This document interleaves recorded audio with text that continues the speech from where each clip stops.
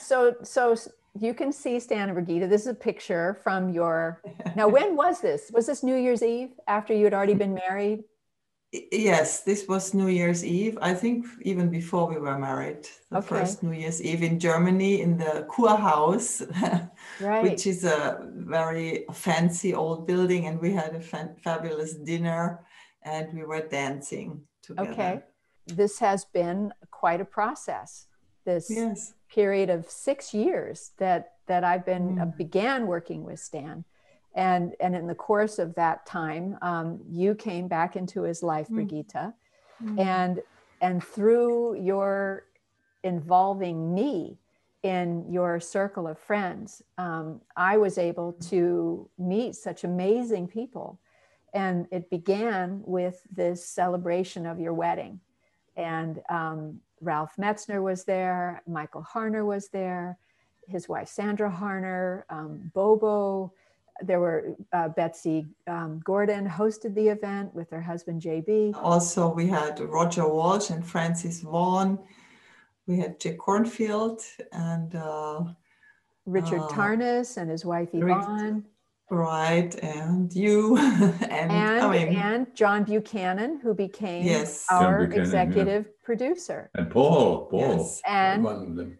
no, he wasn't there. Paul was not there. Your brother Oh, was no, not was there, not. Stan. But um, He but came Paul it- was L, L and heaven, yeah. Yeah, that came- yeah, yeah, that was and, and so it was this this amazing party with such incredible people and Mhm. and they became uh, a core group that supported this Mhm. project all the way through Mhm. and um, and Jack Kornfield and um, Ralph and Rick stayed to watch our first, you know, 20 minutes of the movie. And and they the, the feedback they got was we need some background on who Stan is. If you go straight into the perinatal matrices, you're gonna freak people out. and so so we had to go back and do some history and um, Mhm. and rick tarnas ended up becoming my advisor for Right. two independent projects to verify the you know structure and provide uh, footage that i didn't know existed of the flora story and and then in the course of making this movie um, we lost some you lost some dear friends and the world lost some amazing um, Mhm. elders. We lost um, Ralph Metzner. We lost Frances Vaughan, um, uh, Michael Harner. You know, so there were Mhm. there were a series of of um, great wisdom holders who passed, and that was sad. Uh, but the great thing was to get them all together and capture the jokes, the stories uh, between them. It was just so beautiful and and uh, and then the next thing I remember is we went to Prague. I joined you in Prague in 2017 Mhm. for the big conference there, and um, yes. and I put it into the movie. There were what 3,500 people in the audience applauding Stan as he, Mhm. I believe he he opened it and closed it, Mhm. and Brigitte joined him on stage. It was really quite beautiful. Mhm. Well, we had our talks, right, on art. Both both of us. I was talking on my art, and Stan was talking on his art, which was a, a first time. No, it was a Mhm. premiere. that was fun. That was really nice, and there was a, an exhibition, an art exhibition, and and you were there. You were filming, and uh, you were just. We have the wonderful cat there. Yes, This, uh, this my favorite my favorite picture. I want to see that in this. I know. We it was it was Giger's art, and uh, it was a cat, and you you you asked me to you know stand next to it, and so I I did my version of the picture. Yeah. You look like the cat. It's so sweet. I love that picture. That's one of my favorite. Thank you, thank you for asking me to include that. Um, Uh, But- well, we we also we have some we had some fun on the way, right, Oh, Susan? I mean, it was hard work. I mean, I I'm so impressed how much work you did and how much work it is to make such a movie, and it's, it's so much bureaucracy and so much organization. I mean, it's the creativity, but also it's so much so much work, you know, and uh, Well- lots of money. You have to find money and Uh, I mean, we, we didn't have a, anybody, we didn't really have a huge budget or anything. We had, we had to ask our poor friends all the time to give us some money, which was, we said and- you should you should get a PhD for this. You know. yes. Tell that to Good. CIIS, you know, to let those folks know honorary PhD would be very well appreciated. yes, Uh, yes. I want to say that, you know, way in the very beginning, Stan, you and I um, recorded what we thought might be a pitch video. We were going to do like a GoFundMe campaign. And, um, and I have a moment of that that I'm going to uh, share. but- Oh, right. it's- That's it's- cool. it's pretty funny because you rehearsed this amazing speech and then you turned and and said it to me Susan, I'd like to thank you very much for all the energy, the time, the love that went into this project. Uh, I don't see it as a personal tribute, you know, to me, my life, my my work. I see it uh, primarily as an extraordinarily powerful tool to communicate a very important message. Um, I'm now 85 years old, and I spent uh, 60 years of this time Yeah, you'd be talking to the camera. 60 time uh, We're rehearsing. yes, sorry. okay that's been six, yeah it was blurry because i didn't have a real camera person it was my friend and Oh. she did the wrong thing but the other thing that we did that this was sort of a gift to you guys was the um, solstice or no Oh, the yes. eclipse the solar The eclipse, eclipse, the solar eclipse. Yeah. The you invited eclipse. you invited us to Oregon and you set up this fantastic event in the countryside with these beautiful people and it was this amazing kind of shamanic gathering. it was really that was really cool. Huh? We really loved it. Huh? Stan really loved it too. Share. Yeah, yeah. Well, and I remember, I don't know how much we should put in this, but uh, you know, marijuana is legal in Oregon, and two of the people that were coming, uh, one of he's a cultivator, and so uh, he said, "What can I offer?" And I said, "Well, maybe bring some marijuana."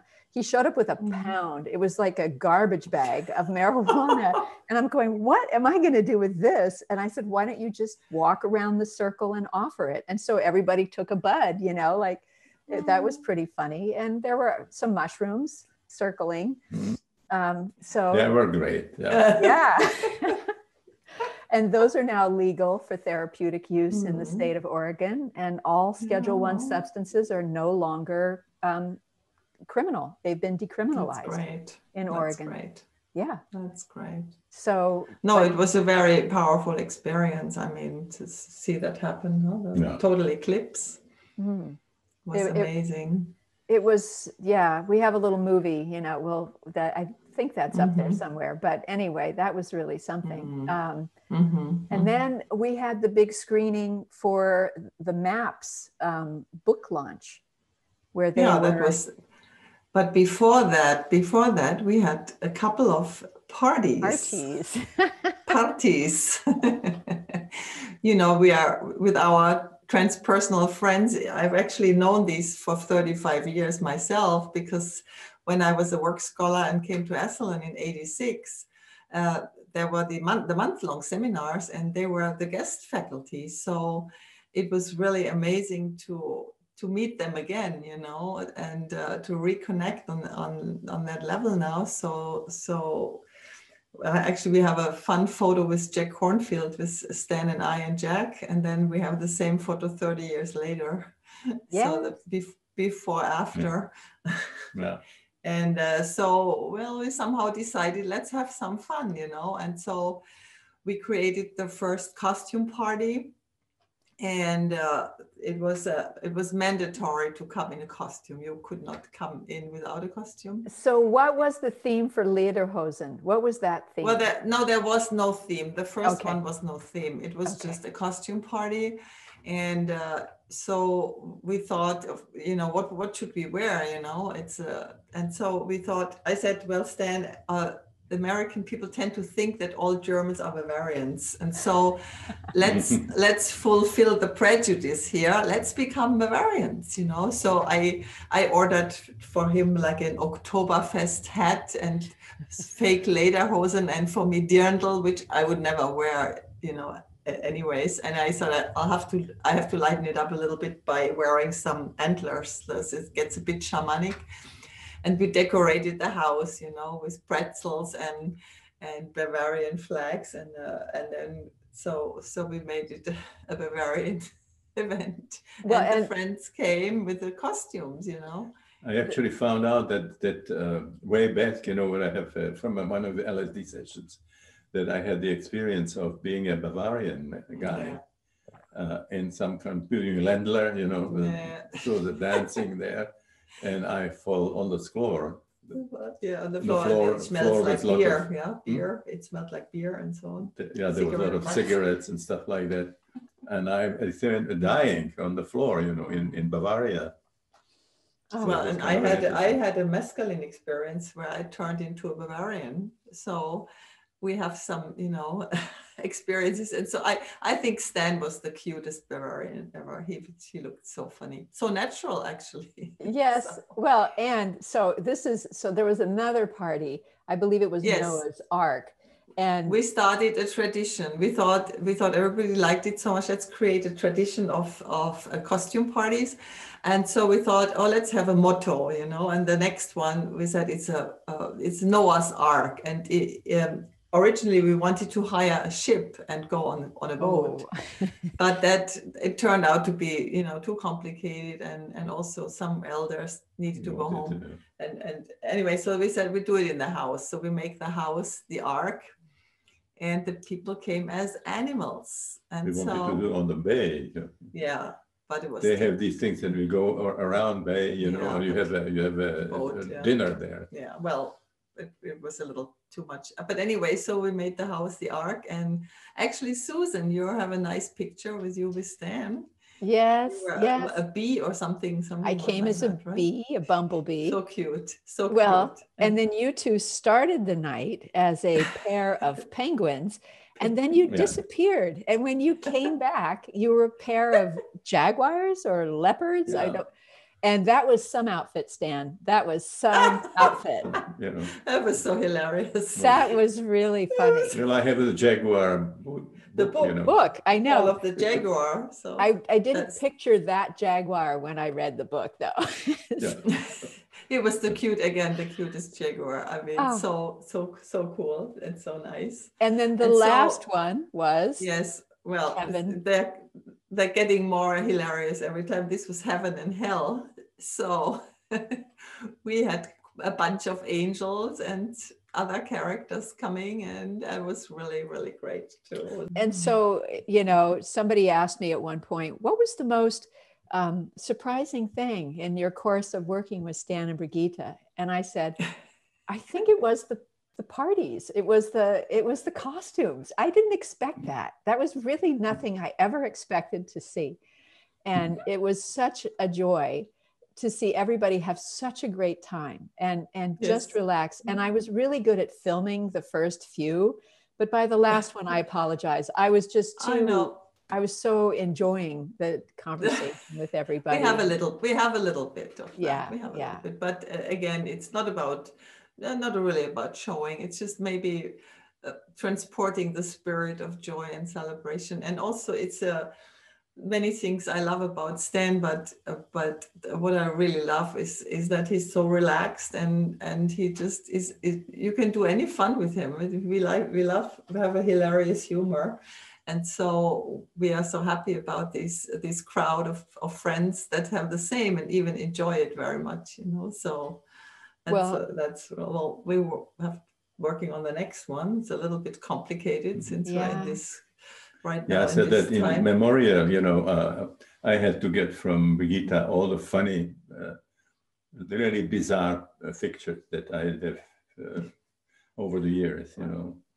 Yeah, well, you know, we could do a naked version on Zoom and uh, everybody yeah. could be naked from from the chest up you know so that or whatever we wouldn't know well was that would uh, that was our idea for the next party would be maybe Adam and Eve. So let's see what that would be like. Leaves, just well placed leaves. Well, there's lots of place for creativity, and so we hope we'll we'll can get together again in person because it's more fun in person. It's yeah nice.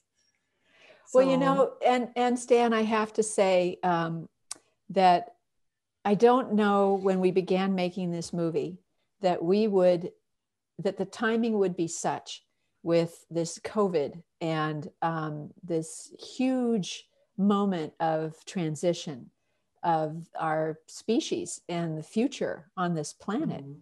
And so I feel like, you know, the timing was just meant to be that here we are with something mm. now that people can access. They can start to change their understanding of what reality is. They have a guide for how to approach um, deeper exploration, whether it's through the breath work or through um, psychedelic therapies. But they, they're, they're being given a framework so that what they discover on the inner journey can be held in a greater context so mm-hmm. that mm-hmm. they can imagine another way of being on this mm-hmm. planet and living together. Mm-hmm. And so I am so thankful, and even COVID that got us to show every one of our interviews over the course of the mm-hmm. summer. It's an education. And, mm-hmm. and the website has that. All of it's there. And, and so I feel what a gift that um, I feel so honored that I was able to uh, work with you both and have access to these amazing people. And Rick. At CIIS, mm-hmm. any question, mm. who should tell me about this? And then mm-hmm. he would always give me a wonderful name. And then the people who worked with you during your years at Esalen came through. And oh, Esalen, Esalen, Esalen. Yeah. We went yes, to Esalen. Yes, yes. We went to wow. Esalen, and it was your your time together there as co-teachers instead of teacher mm-hmm. and student, which was really mm-hmm. amazing and, and filming there. So it, what mm-hmm. I, I just think, you know, this has been an incredible journey and a, and a great mm-hmm. gift. And I'm so mm-hmm. happy to have met you and worked with you. And I have to say, Stan, I'm learning archetypal astrology. And when I put our charts together, like a bi-wheel, that's where my natal is inside and I'm explaining mm-hmm. it for other people. It's also your sun is like putting light in it and projecting it. That's projecting a film, it. you yeah. know. So, yeah. And uh, mm. and uh, yeah, and there was a whole the whole timing was really perfect. I mean, Stan had that stroke two and a half years ago, and it affected the speech center.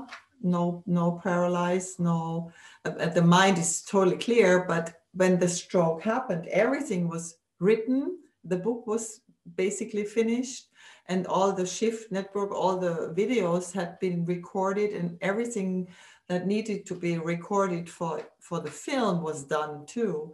So so that was very very we were so lucky you know that this was all all done. I mean there was still work to complete the film and the book and so on. And so that's when we had uh, the uh, the book launch yeah and the film launch in san francisco. Yes. that was in August. That was interesting. 19, yeah. 19. That was another thing in between. Yes, yeah. and that yeah. was uh, that was in August 2019. A really huge gathering of people. How many people were there? 750. All right, 750. 750. And we did a big screening of the movie yes. and we presented the book. Yeah, so, yeah no it was it, and then it was just a few days after i think that mm-hmm. you were going to have a, the surgery on your back and they took you off the blood thinner no no no no no it was the stroke was before. Oh that's right 2018 was the stroke and yeah, the book launch was 2019 yes yes. right. screw it screwed it up you know i never got it yeah. no. i know. Well wow so but came with stroke and my, my back on the top you know the, instead of a back operation, you had a stroke because they took away your blood thinners without substitute. So well, that was a bummer, but but, but you know the, we were, the positive, at least, is that uh, unlike other um, incredibly wise and transformational people, you you have a legacy um, that you speak for yourself so that it's your words, it's you interpreting, mm-hmm. you mm-hmm. participated mm-hmm. in the authenticity, uh, authenticity of, mm-hmm. of all of our mm-hmm. reenactments, so that there's no question that this represents you accurately. Yes. And so it's not like Rudolf Mm. Steiner or somebody else or Jung, you know, where they're going to read it and interpret it and people are going to have Mm. opinions. You got to Mm. express it directly. Right. it Directly. And right. so this Yes. is That's true. Yeah. That's so great that it's it's all recorded and and uh, we sometimes so talk great. about the positive thing, you know, Mm. that we ended up uh, together. You know, otherwise we would be going, you know, back Yeah. and forth. to- Now we're always together. that's so nice. Yeah, but that was that was difficult. You were you were yeah, we live on two continents, and now we are just always together, which is really nice. yeah. I really, I'm really so impressed how you have done that. You have been really in service of of the truth and of Stan. I mean, there was no ego in this. You were just really, you wanted to know, you just wanted to transport everything correctly. And so I, I, I really saw your pure heart Mm. uh, in doing this, you know, and I really appreciate that so much. We both appreciate it so much, and uh, and also the uh, you also were walk your talk. I mean, you were going on that inner journey and do it. And I one of one of one scene in the movie I really love when you show it that you drank ayahuasca and it thought it wasn't enough and you kept you know you're you're just no shit i mean you you don't don't don't mind make a fool of yourself and even admit it that's so sweet you know and then and i think it's so important to first of all to do what you what you're talking about. So so you're not separated from a separated reporter but you're really doing it. And um, you have you have made such such a, a way during this time. And um, also you help help i think it helps to show your own process in this. And also to really show that psychedelics um, are not cookies. I mean this is really serious stuff you know and uh, the very powerful tools and you you show that. And so so really want to thank you for for doing it this way you know. It's really really beautiful so and we so both much. love you. we love Aw. you you've Yeah. really become so such dear Yeah. friend to us so Well, It's and- really that that was part of it, you know. yeah. Well, and I, and again, you know, thank you, Brigitte. That's very sweet. And I love you both so much. And what, It's the truth what I got out of it, what I got out of it was because of what I learned from you, Stan, because of, of you, the example Mm. that you set, I had the courage to just dive in to, Mm. you know, and again, let's get back to little archetypal astrology. This was Pluto, Saturn opposing my sun.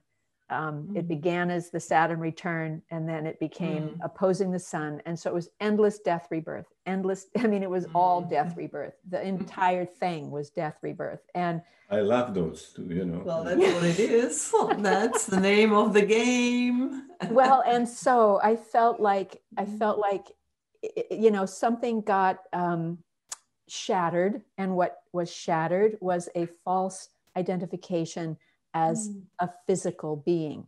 That yes, I'm in a body, but I am spirit, and the Mhm. spirit is what is you know the essential nature. And so no matter what happens, I'm fine and and it, it gave me a sense of humility and a sense of compassion and understanding and when you break through the personal then you can go into the collective and you begin to Mhm. understand the Mhm. nature of Mhm. suffering that and confusion that people are facing and then the idea that there's always going to be something that it's never going to be perfect that we're here in this physical world as you said and that i made a point of it in the movie that you can't just have good it's it's always going to be equal parts and and it's when you're able to be connected to that higher sense of self Mm. that you can live with this you know these two energies and and find peace and i believe that's what i've gotten out of this and um Wonderful. yeah Mhm. so Great. thank you Mhm. So I have a last question. Um, um, we, uh, you, we, when we discussed what you would do different in the film now, uh, you were mentioning that from you gathered so much understanding about Stan's work and and uh, development and so on, and that you would would right now would add the perspective of the archetypes that uh, that Stan was saying. Uh, he exactly he has changed for himself over the years. So you know exactly. what's now it's this it's uh, uh Rick's uh, book which is going to be or the feeling would be great. Yes. Well, Rick, it's, uh, it's all about archetypes, you know. Rick, Rick wrote an epilogue in the way of the mm-hmm. Psychonaut volumes one and mm-hmm. 2 mm-hmm. And mm-hmm. we read that in the course of our archetypal astrology course that I'm mm-hmm. currently taking at CIIS. And when I read mm-hmm. that, it's exactly what you're saying in this 50 something minute in depth um, interview where I was saying, What's an archetype? What's the psyche? And you went so deep into these things. And that so in fact the perinatal matrices yes they impact us they shape us mm-hmm. they they set mm-hmm. us up for a certain path that we need to navigate to grow as individuals mm-hmm. but it's the mm. archetypes that determine that experience mm-hmm. and that's the the you know it's that that step back it's that idea mm-hmm. that it's it's a bigger picture that is shaping our journey on mm-hmm. this planet. Mm-hmm. And mm-hmm. that is mm-hmm. the thing that I wish I had put in the movie. so, you know, no, really, Rick's, Rick's uh, movie is really like complement to it, you know? Yes, yes. Changing of the Gods, which will be on. Yes, yeah. that's coming too. Yeah. So, but anyway, you know, this is this is why uh, a movie is never done because well yeah i mean it's when yeah, once but, you're finished but, something yeah. else is coming up and you could redo it so so we, I, we could have did something but we already had it you know had, had the, mm-hmm. the whole ideas in it yeah well we'll see what we do but, but we mention it now that's yes. for sure we'll see and i would also like to mention a last thing is that many things have have happened in the in the last couple of months and years and uh, uh, of course the pandemic and i mean the, the the good the benefit of this pandemic is that we were forced to not go to the movies but to to broadcast things in the in the internet and i think may, probably we have reached many more people that way than we would have mm-hmm. reached with physical events you know and the the other mm-hmm. thing that happened uh, during the last year up to up to a year ago started that uh, something else wanted to really wanted to emerge. And uh, we were we creating the new training the Grof legacy training. When you were mentioning stan's legacy so that's that's also an, an, a new training representing Stan's legacy all over the world, and they can, can. learn to work, uh, you know, with all kinds of um, inner inner states, uh, holotropic states, and it could be breath work, it could be with dying people, or or for spiritual emergencies, and eventually, in this uh, huge psychedelic renaissance that's happening uh, internationally, especially in the states and uh, in uh, Canada, South America, and uh, probably Czech Republic coming, mm-hmm. there's going to be a, a, a, huge need for qualified, uh, in-depth trained uh, psychedelic sitters. So that's also where this training, what this training is for, for people who, who mm-hmm. can use that that way.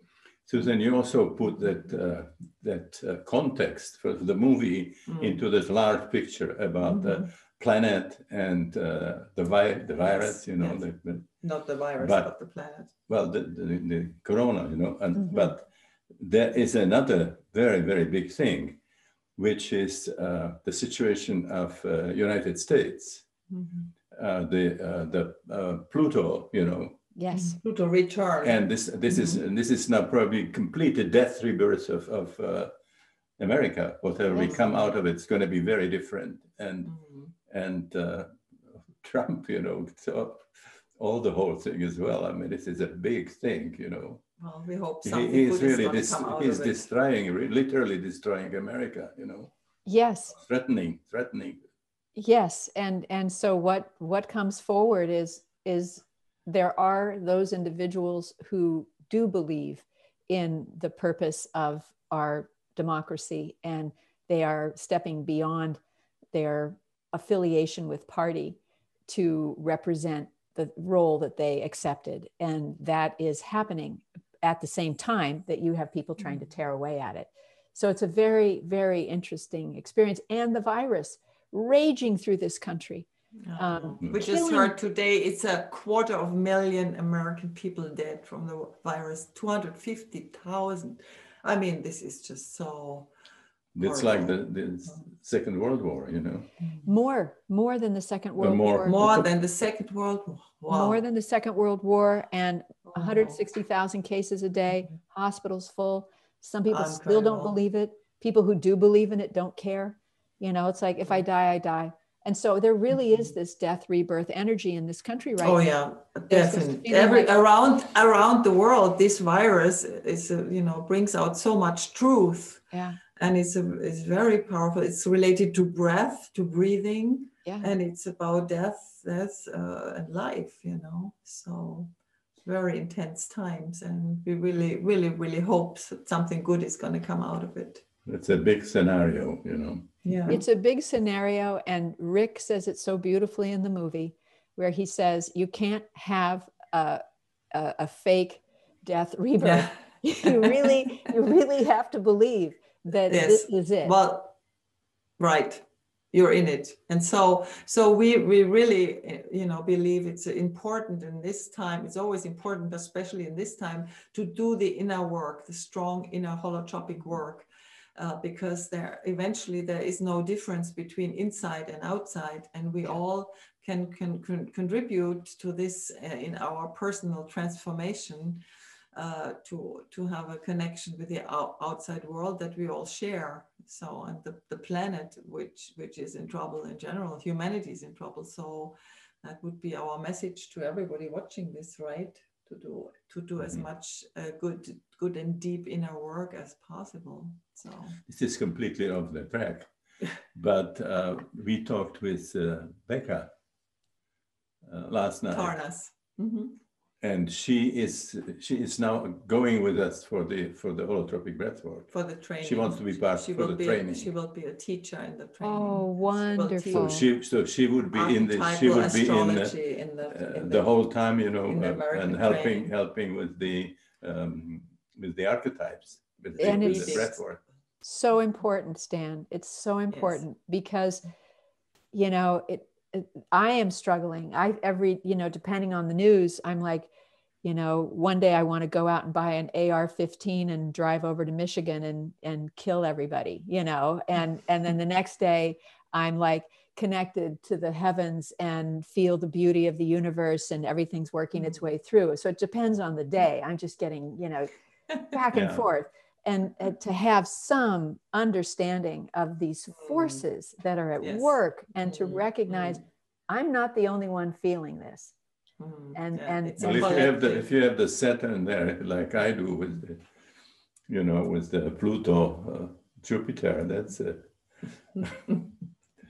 yeah It- I have still I have still the Uranus, you know, to the Yes. to uh, T square, the T square. scale, yeah. T square. well that's the breakthrough you know but uh, But just Stan is always saying he's always waiting until his Jupiter is kicking in when we're in trouble. And we right? got it now. We got it. Some interesting things like the last few, few- few Interesting days, things yeah. are happening. Yes. So- wonderful well we should wrap this up i love you both All right. so Really. much Bye bye, Susan. Thank you so much. i love you stan